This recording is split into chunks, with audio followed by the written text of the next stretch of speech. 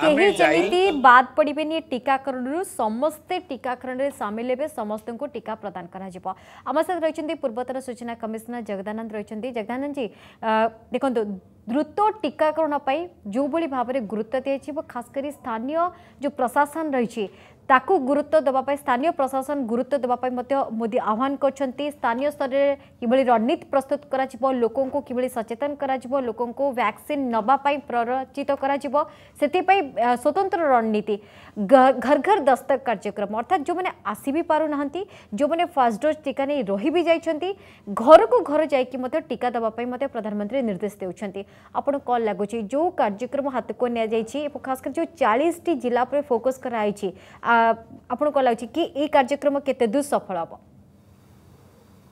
ନାଇଁ ଏଇଟା ତ ଗୋଟେ ଟୀକାକରଣ ଏମିତି ଗୋଟେ ଜିନିଷ। ଏଇ ମହାମାରୀରେ ସେଇଟା ହେଉଛି ଗୋଟେ ଅ, ସଞ୍ଜୀବନୀ। ତେଣୁ ଟୀକାକରଣ ଯଦି ଠିକ୍ ଭାବରେ ହେଇଗଲା ଦେଶରେ ଏବଂ ଏଇ ଯେଉଁ କୋଟିଏ ଲୋକ ଟୀକା ନେଇଛନ୍ତି କୁହାହେଉଛି କିନ୍ତୁ ୟା ଭିତରେ ପ୍ରାୟ ମୋଟାମୋଟି ଦେଶର ତିରିଶ ପରସେଣ୍ଟ ଲୋକ ଯେଉଁମାନେ ଦୁଇଟି ଯାକ ଟୀକା ନେଇଛନ୍ତି। ତାମାନେ ଆହୁରି ସତୁରି ପରସେଣ୍ଟରୁ ଅଧିକା ଲୋକ ବାହାରେ ରହିଯାଇଛନ୍ତି ଯେଉଁମାନେ ଟୀକାକରଣରେ ଆସିବା ଦରକାର ଏବଂ ଏଇ ଯେଉଁ ଟୀକାକରଣ କଥା ଉଠୁଛି ଏ ଟୀକାକରଣରେ ଯଦି ଗୋଟେ ସେଗମେଣ୍ଟ ବି ଲୋକ ରହିଗଲେ ଯେଉଁମାନେ ଟୀକା ନେଇନାହାନ୍ତି ତାମାନେ ବେମାରୀର ଯେଉଁ ଭୟାବହତାକୁ ଆମେ ଟାଳି ପାରିବାନି। ତେଣୁ ଟୀକାଟା ପୁରା ଦେଶରେ ସାର୍ବଜନୀନ ଟୀକା ହଣ୍ଡ୍ରେଡ ପରସେଣ୍ଟ ଯେତେ ଜଲ୍ଦି ହେବ ଆମ ସମସ୍ତଙ୍କର ଗୋଟେ ସୁରକ୍ଷାର କବଚ ଆମକୁ ମିଳିବ।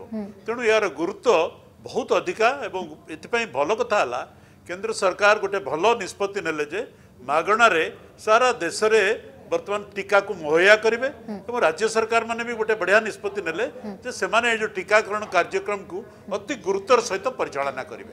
ତେଣୁ ଏଇ ଯୋଉ କେନ୍ଦ୍ର ରାଜ୍ୟର ଗୋଟେ ସମ୍ମିଶ୍ରଣରେ ଯୋଉ ଗୋଟେ टीकाकरण कार्यक्रम देश में चलती ये बोधे अद्वितीय टीकाकरण कार्यक्रम सारा दुनिया हम्म।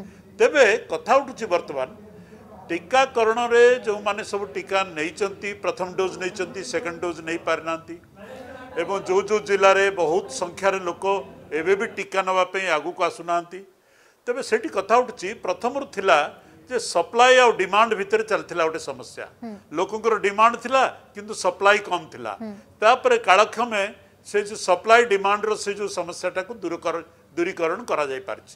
ଏବେ ସପ୍ଲାଇ ଅଛି କିନ୍ତୁ ଡିମାଣ୍ଡ ସାଇଡରେ ଟିକେ ଟିକେ କୋଟି କୋଟି ପ୍ରୋବ୍ଲେମ ରହିଛି ଯୋଉଟା କି କେନ୍ଦ୍ର ସରକାର ତାକୁ ଚିହ୍ନଟ କରିଛନ୍ତି ଏବଂ ଆଜି ସମୀକ୍ଷା ବୈଠକରୁ ଯାହା ଜଣାପଡ଼ିଲା ଚାଳିଶ ଜିଲ୍ଲା ଅଛି ଯୋଉଠିକି ଅତି ଆବଶ୍ୟକତା ଅଛି।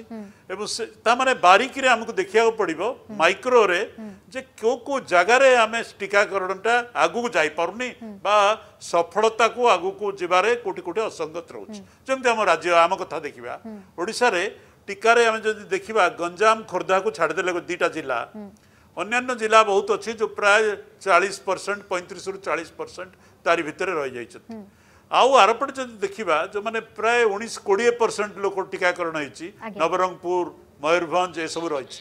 ତେଣୁ ଏଇ ଯେଉଁ ବାରିକରେ ମୁଁ ଭାବୁଛି ଖାଲି ପ୍ରଧାନମନ୍ତ୍ରୀଙ୍କ ସ୍ତରରେ ଚାଳିଶଟା ଜିଲ୍ଲା ନୁହଁ ପ୍ରତି ରାଜ୍ୟରେ ମାନ୍ୟବର ମୁଖ୍ୟମନ୍ତ୍ରୀ ମାନେ ଏବଂ ରାଜ୍ୟ ପ୍ରଶାସନ ସେମାନେ ବି ଦେଖିବା ଦରକାର ଆମ ରାଜ୍ୟରେ କୋଉ କୋଉ ଜିଲ୍ଲା କୋଉ କୋଉ ବ୍ଲକ ଆମର ତିନିଶହ ପ୍ଲସ୍ ବ୍ଲକ ଅଛି ସେ ବ୍ଲକ ଭିତରେ କୋଉ କୋଉ ବ୍ଲକରେ ପଛୁଆ ରହିଯାଇଛି କୋଉ ବ୍ଲକ ଆଗକୁ ଯାଇଛି ଆଜ୍ଞା। ଏବଂ ବ୍ଲକ ଭିତରେ ଯେଉଁମାନେ ବ୍ଲକ ପ୍ରଶାସନରେ ଅଛନ୍ତି ସେମାନେ ବି ଦେଖିବା ଦରକାର କୋଉ ପଞ୍ଚାୟତରେ ଆଗଉଛି କୋଉ ପଞ୍ଚାୟତରେ କମି ଯାଉଛି ତେଣୁ ଏଇଭଳିଆ ଯଦି ଆମେ ଅତି ଟାଇଟ୍ ମନିଟରିଂ କରିବା ଆରମ୍ଭ Okay. ତେବେ ଯାଇକରି ଟିକାକରଣଟା ସଫଳ ହେଇପାରିବ ଯୋଉଟା କି ଆଜି କେନ୍ଦ୍ର ସରକାରଙ୍କର ଏଇ ଯୋଉ ରିଭ୍ୟୁରୁ ଜଣାପଡ଼ିଛି ଏବଂ ଏଇ ରିଭ୍ୟୁର ଯୋଉ ଢାଞ୍ଚାଟା ଏଟାକୁ ସାରା ଦେଶରେ ସମସ୍ତେ ସେଇ ଲାଇଟରେ ଯଦି କରିବା ଆରମ୍ଭ କରିବେ ତେବେ ହବ